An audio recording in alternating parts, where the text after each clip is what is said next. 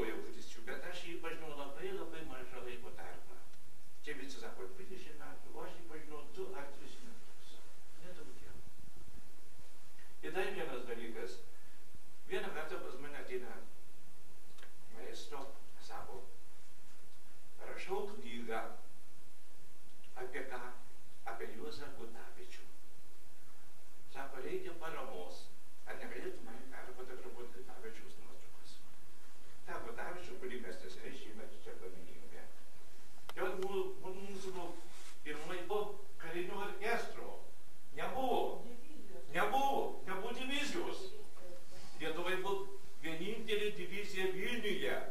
Kito karinių dadžių nebuvo. Nebuvo.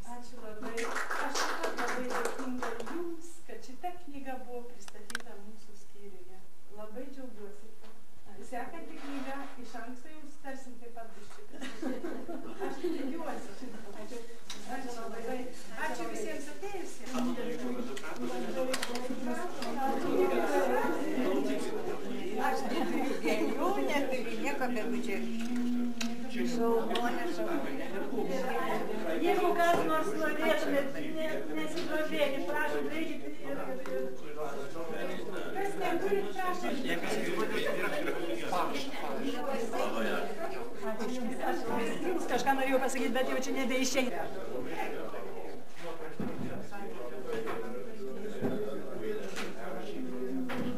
Čia mano mokinys, va šitas žmogus yra. Išrašysiu. Va čia yra kažkaip kažkaip.